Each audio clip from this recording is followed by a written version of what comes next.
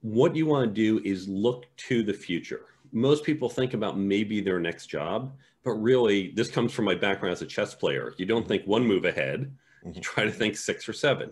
Right. Look to where you want to be long term. Say, okay, here's a job I want in, let's say, 10 years.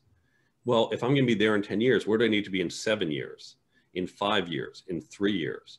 Okay, where are the skills I need to get that job in five years? Okay, so I have to gain these skills. I need this type of experience. How do you set yourself up?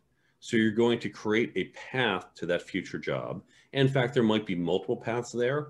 You might not have one future job. You might have, well, I'm, I'm going in this direction and I'll kind of figure out the details later. So I talked about different ways you can do this. And you can start from saying, what's the goal? Work your way backwards and create plans that, of course, are going to be more concrete in the short term and a little fuzzier as you go out. Now, the important thing with plans is people say, well, you can't plan for this stuff. You, you never know what's going to happen. Of course, if any of us ever went to our boss and said, hey, listen, this project we're doing for next six months, look, I'm not going to bother giving you a project plan because we all know we're not going to stick to that plan exactly. So why even waste our time? Boss say, no way, make that plan.